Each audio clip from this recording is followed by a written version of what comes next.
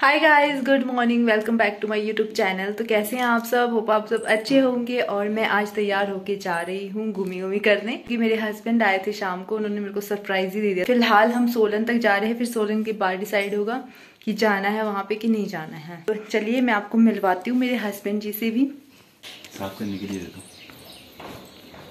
मैं कर देती हूँ यार अपने पति के लिए मैं इतना तो कर ही सकती हूँ। तो कहाँ लेके जा रहे हैं आप मेरे को घूमने? सोलन जा रहा हूँ मैं कार अच्छा घूमने नहीं जा रहे मतलब हम जल्दी फ्री हो तो चले जाएँगे अगर नहीं हुए फ्री तो तो नहीं जाएँगे चल ठीक है दो यार ब्रश था दो तो हम लोग पहुँचे देवठी में और इनको लग गया भूख घर से आए ना ऐसी भूख नहीं लगी है भूख नहीं लगी और यहाँ पे आके लग गए मांगने खाने के लिए। तो हम फ़िलहाल हेलमेट लगा लेते हैं क्योंकि आगे जो है पुलिस वाले रहते हैं तो ड्यूटी में पहुँच के हम हेलमेट लगा रहे हैं। वैसे मेरा मन नहीं लगाने का। क्या बना रही हो? इधर मुँह के पास खड़े होके। पकड़ो।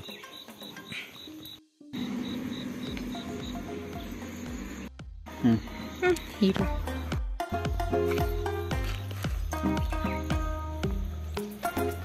खा लेती पहले।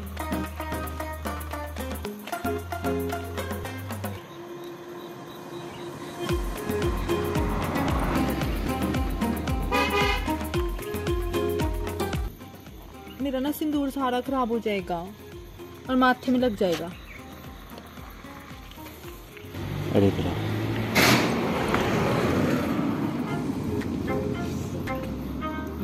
कहाँ लगेगा ये? मुझको नहीं आता लगाना है। चश्मा होगा इस पर फिर चश्मा गया मैं बनाना ज़रूर चश्मा भी कोई अच्छा वाला लेके देते मेरे को तब भी तुम मानती बात सड़ियल सा चश्मा सड़ियल सा पच्चीस सौ का है। स्क्रैच पड़े हुए इसमें इसको लगाने के लिए फोर्स कर देते हैं बार बार। कैसे लग रही है? बड़ी लग रही ना? चलो।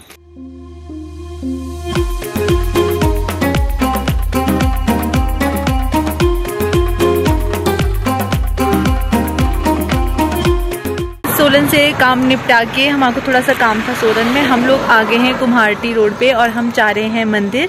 बुरसिंह महादेव जी के मंदिर जा रहे हैं हम। वैसे हम सोच तो काफ़ी दिनों से रहे थे कि हमने जाना है बट ऐसा स्पेशल प्लान नहीं बन पा रहा था और मौसम थोड़ा ख़राब था इतने दिनों से। तो आज इनको सोलन में काम था तो इन्होंने बोला कि चलो आज ही निकलते, सोलन तक तो जाना ही है तो उधर भी जा ही आते हैं। तो चलिए गाइस वहीं जाके मिलती हूँ आपको और आगे टनल भी आती है कुम्हारटी वाली। चलो अटल कुछ ये नाम है अटल अटल मनाली में चलो सो गाइस हम लोग पहुँच चुके हैं टनल के पास और ये है welcome to national highway authority of India Badok tunnel है ये बड़ोक टनल गाइस चलिए।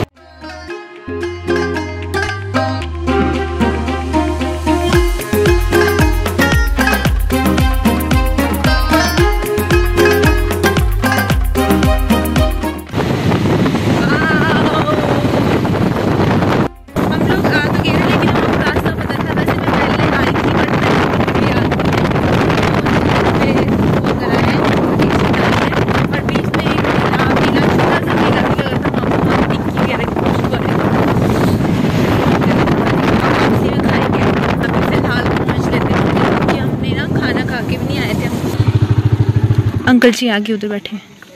अंकल जी बुर सिंह महादेव के लिए कहाँ जाते अच्छा। आगे जाना है अभी? हाँ जी।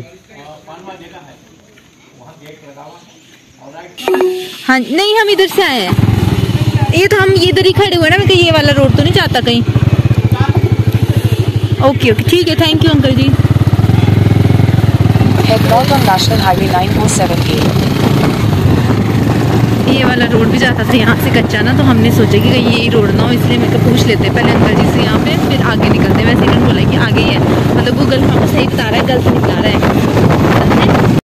तो गाइस जैसे ही हमने नैना टिक्कर से आगे क्रॉस किया है ना, वैसे ही मौसम देख लो आप, कितना ठंडा और इधर लग रहा है कि बारिश आने वाली है। मेरे को लग रहा है कहीं ना कहीं बारिश हो रही है आगे, इसीलिए इतना ठंडा मौसम हो रहा है। तो भगवान हमारी रक्षा करना फाइनली गाइज़ हम लोग भुरेश्वर महादेव मंदिर के मेन रोड पे पहुँच चुके हैं।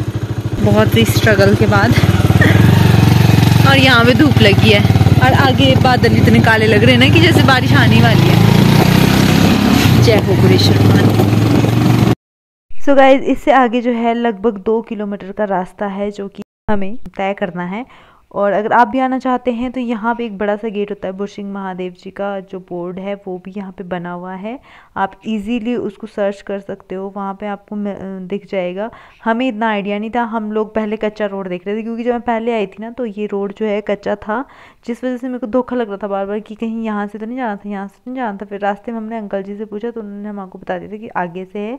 और ये अब पूरी तरीके से पक्का हो गया रोड। यहाँ से जाते हुए ऐसे लग रहा है कि मौसम बिल्कुल ठीक है लेकिन आगे जाके आप देखो जैसे जैसे हम मंदिर के नज़दीक आए ना वैसे वैसे ये धुई जैसी आपको दिख रही होगी और इतना मौसम ख़राब हो गया था उसके बाद बारिश बहुत तगड़े वाली होगी थी। तो हम लोग मंदिर के पास पहुँच चुके हैं। आपको यही लगानी पड़ेगी बाइक वगैरह कहीं?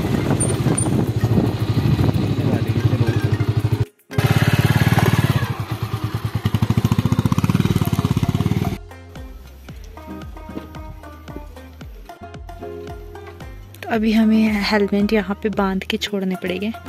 वैसे लोगों ने तो यार ऐसे ही रखे बाइक के ऊपर। नहीं नहीं, बाँध के रखे है।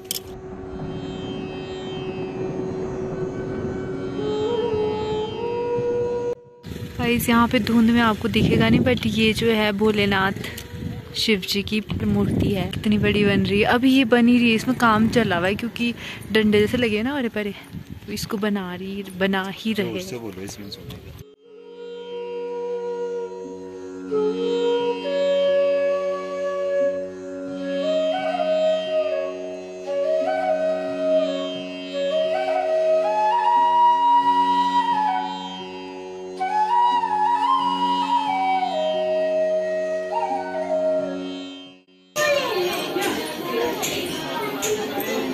तो ये जा रहे प्रसाद लेने। लिखा तो है यहाँ पे पर दिख नहीं रहा है कहीं पे भी। मिला बूंदी है? देखो। तो सिर्फ़ बूंदी हो सकती है आई थिंक इलायची दाना है। चल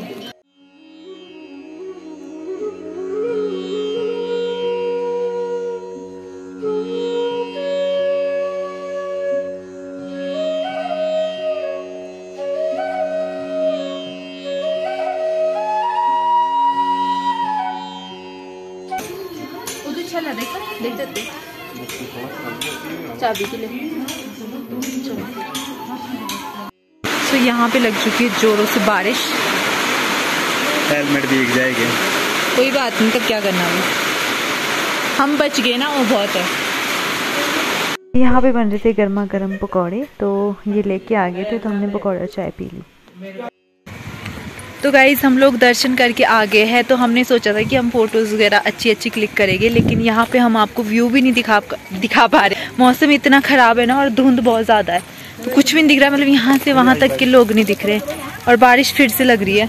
बारिश रुकी थी अभी थोड़ी सी तो हमने सोचा था रुक लेते हैं यार बहुत बारिश है। जल्दी चलो जल्दी। बारिश ये ना मोटी मोटी लग रही है दिखाने लगी है। हम लोग निकल ही गए यहाँ से क्योंकि कभी भी आ सकती है बारिश। धुंध देख सकते हो आप कितनी ज़्यादा है। हमने कोई फ़ोटो वगैरह भी नहीं इतनी खास ली और मंदिर में तो वैसे ही फ़ोटो अलाउड नहीं थी। मैं क्या निकलते ही हैं ज़्यादा बारिश ना हो जाए। और चाय पकौड़े हमने खाए इतने टेस्टी लग रहे थे गर्मा गर्मा ना। इस बहुत मुशक्क़तों के बाद हम पहुँच चुके हैं सोलन। कहीं आग लगी है। फिर से ये पिज़्ज़ा खाने आ गई है। पिज़्ज़ा खा खा के निरसती है। दुनिया भर का पिज़्ज़ा पिज़्ज़ा पिज़्ज़ा ये वाला पिज़्ज़ा ऑर्डर किया है।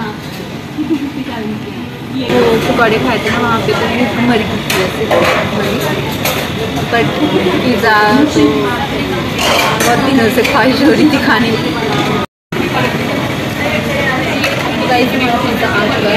सर्व कर रही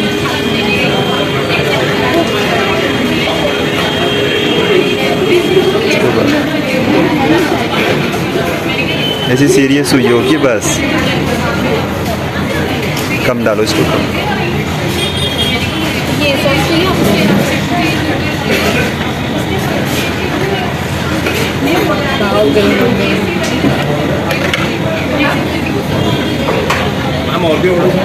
नहीं। क्यों नहीं मंगाया? मैं तो बड़े वाला साइज़ इसके बाद सारे आप ही खाना।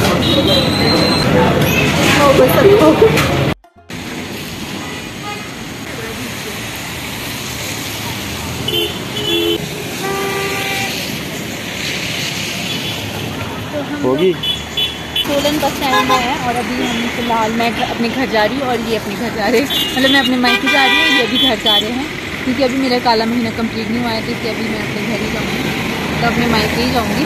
ये मेरे को छोड़ने आए हैं न्यू बस स्टैंड और हेलमेट लगा लगा के सिंदूर सारा उड़ गया था इसलिए मैं दोबारा से लगा के चलो आप मेरे को छोड़ दोगे कि जाऊँगी छोड़ दूँगा। जाओ आप मैं चल जाऊँगी पक्का? ठीक है बाय बाय फिर पार्क को भी बारिश हो रही होनी आपकी साइड। मतलब बरसाती पहन के फिर स्टॉप होके चल जाओ आप। मैं भी चली जाती हूँ। ओ जानवी। जानवी?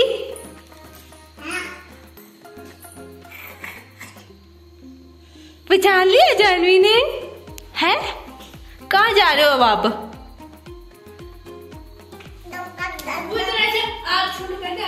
डाकू, बाकू बाकू, चाकू, बाकू। इधर नहीं आना, मेरे पास नहीं आना। डाकू, बाकू, चाकू, बाकू।